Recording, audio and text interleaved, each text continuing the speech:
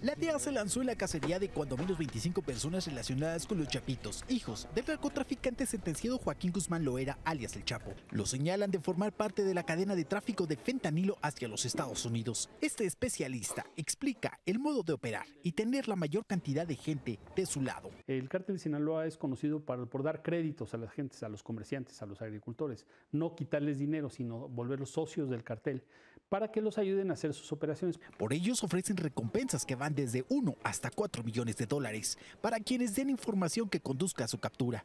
Entre las filas se encuentran decenas de mexicanos, una ambientalista guatemalteca y cuatro ciudadanos chinos. Estas son las fichas de búsqueda compartidas por las autoridades norteamericanas.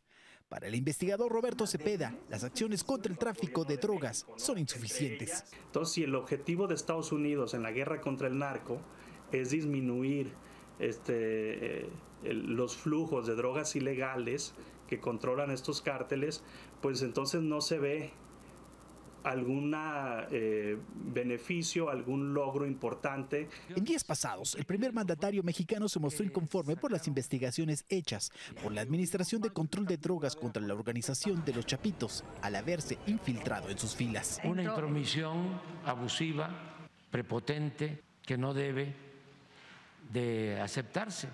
¿Cómo van a estar espiando? En la lista destaca Iván Archibaldo Guzmán, supuesto líder de la facción del cártel de Sinaloa, por quien ofrecen hasta 10 millones de dólares. Mientras que para sus lugartenientes de su primer círculo, como Oscar Noé Medina, dan 4 millones de dólares. Se estima que cada día unos 200 estadounidenses mueren a causa del fentanilo, droga que se produce en laboratorios clandestinos en México, con precursores químicos que llegan de China. En Ciudad de México, Víctor Blasquez, Noticias, Estrella TV.